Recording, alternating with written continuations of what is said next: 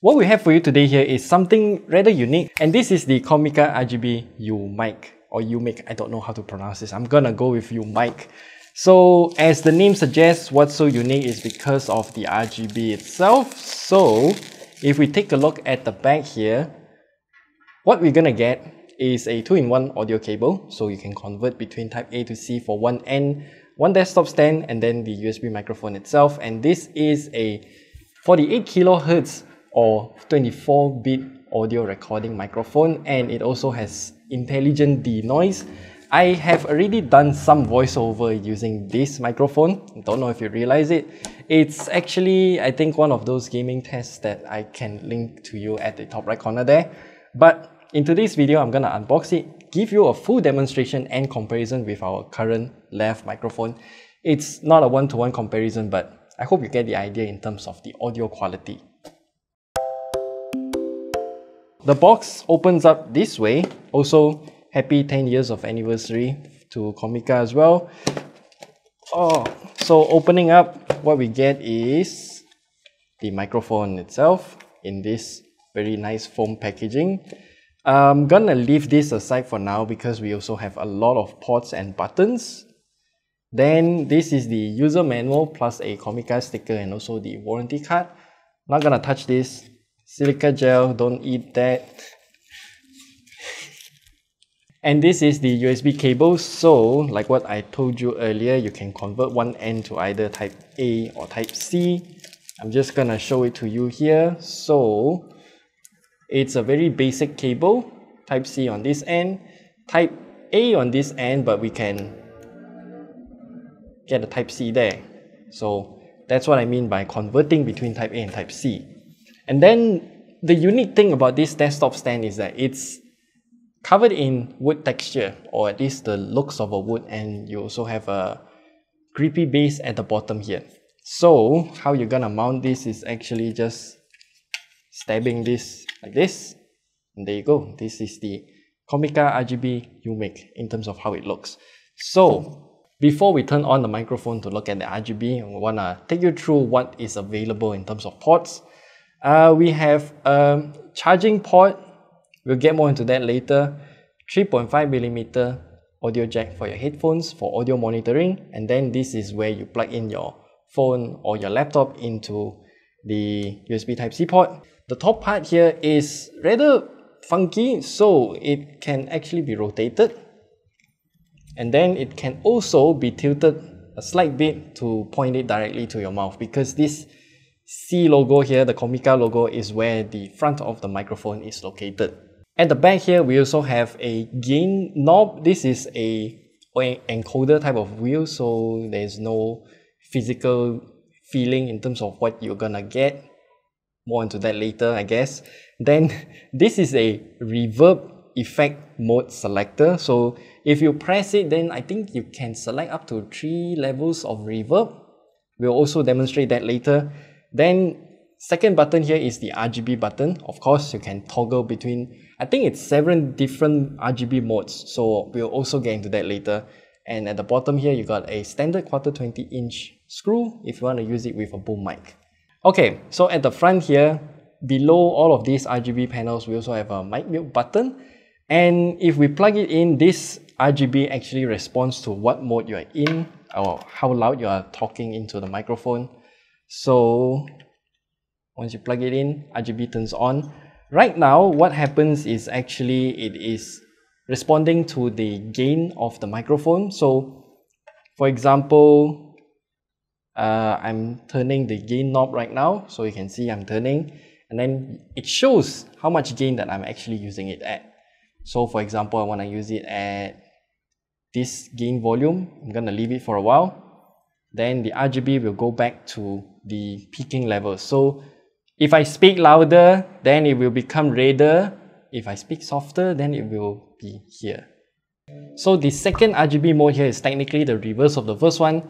If I speak louder, then you can see the red color goes down instead of top. Also depending on how you want to use it. And then the third word is kind of funky, so it's left and right. One goes to the top, one goes to the bottom.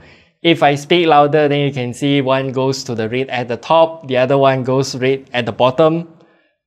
Oh, getting really tired. I need to turn up the key. and then the fourth RGB mode is technically real-time sampling with some effects going on. So if I speak louder, then you can see suddenly there's gonna be a red color line going downwards. But if I speak softer, then you can see it's mostly blue and green at going down from the top of the RGB panel. Don't know how to describe this, but I hope this illustration will let you know how it actually works. And then this one is faster, but from bottom to top.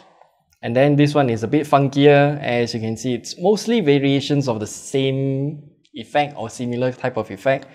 And then this one is basically just an RGB color cycling mode. Uh, this is the last one actually, but I don't think this offers that much utility in terms of the RGB panel.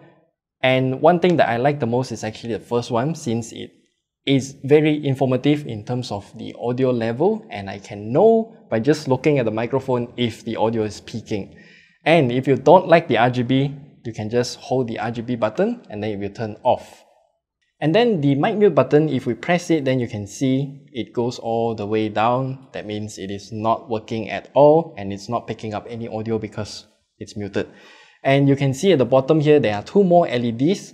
This one is the status LED. So if I mute it, it will become red. If I unmute it, or unmute it, then it will become blue color.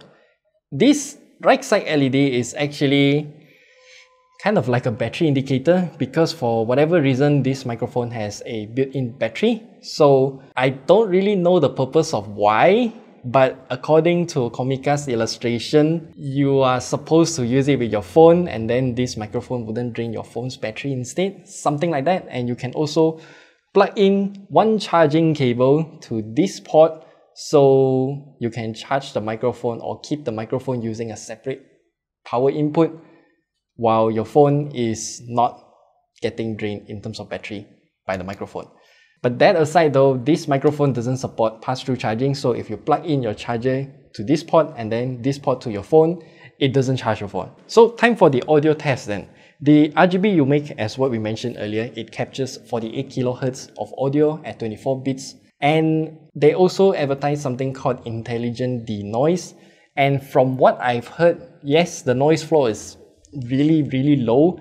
And from what I have seen in terms of the audio waveforms, I don't really have to do much to clean up the background noise to make it clean. So here's a very quick audio sample. What should we read? A quick brown fox jumps over the lazy dog. I'm gonna repeat once again by changing to the other microphone. A quick brown fox jumps over the lazy dog. And I hope you can hear that the audio quality coming out of the Comica UMIC, RGB UMIC is actually very clean, very good, and it's really just a plug and play microphone. Okay, so that audio test just now wasn't exactly the best, but I can assure you that this voiceover was made using the Comica RGB UMIC in the studio. Actually, this is in front of the editing work then, but yeah, here you go. This is the real audio quality that you are gonna listen to when you use this microphone. Not you, but your friends are gonna listen to you when you're using this microphone. And also, Let's test out the reverb. So now the reverb has been turned off. If I press the button once, then you can hear this is reverb level 1. And this is reverb level 2. This is reverb level 3. And now we are back to zero reverb. If you don't have a sound card for your PC or laptop, you can technically plug in your headphones to this port and then you can listen to the audio coming out of it. Technically it works, but I wouldn't suggest you to do so. So for the price of 199 ringgit Malaysia for this microphone or 59 US dollars, I would say this is surprisingly affordable in terms of what it has to offer and also what it can do. Sound quality is good and the uniqueness in terms of the RGB isn't just for looks, it's actually really functional and also offers a bit more utility. So the price, real good.